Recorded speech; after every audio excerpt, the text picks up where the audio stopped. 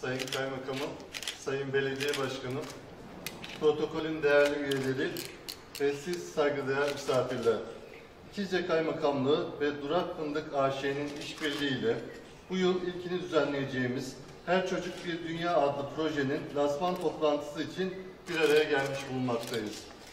Bilindiği üzere İkizce ilçemiz fındık tarımının en yoğun yapıldığı ilçelerin başında gelmektedir.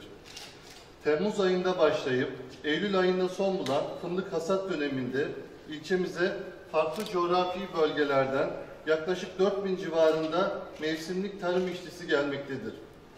Bu misafirlerimiz ekonomimize büyük katkılar sağlarken onların çalışma şartları ve en temel insani gereksinimlerinin azami oranda karşılanması büyük önem arz etmektedir.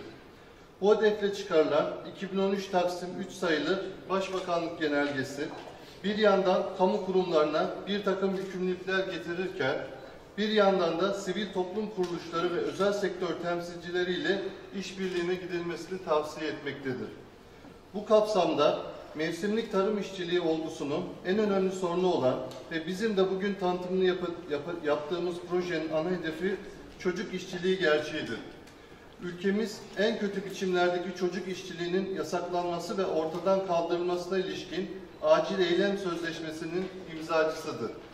Bu sözleşmenin gereği olarak 2018 yılı ülkemizde çocuk işçiliğiyle mücadele yılı olarak ilan edilmiştir.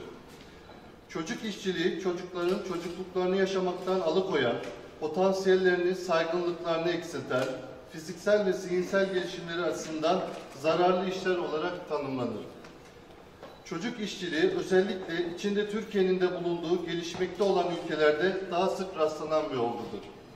Dünya Çalışma Örgütü'nün verilerine göre çocuk işçiliği olgusu en çok tarım sektöründe meydana gelmektedir.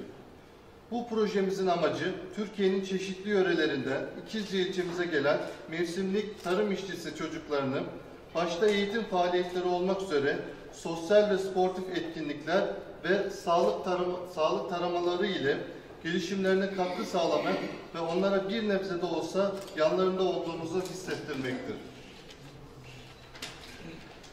Bu projenin hayata geçirilmesinde çok büyük destekleri olan başta Durak Fındık ailesi olmak üzere projenin tüm paydaşlarına sundukları ve sunacakları katkılardan ötürü sonsuz şükranlarımı sunuyor. Hepinizi sevgi ve saygıyla selamlıyorum.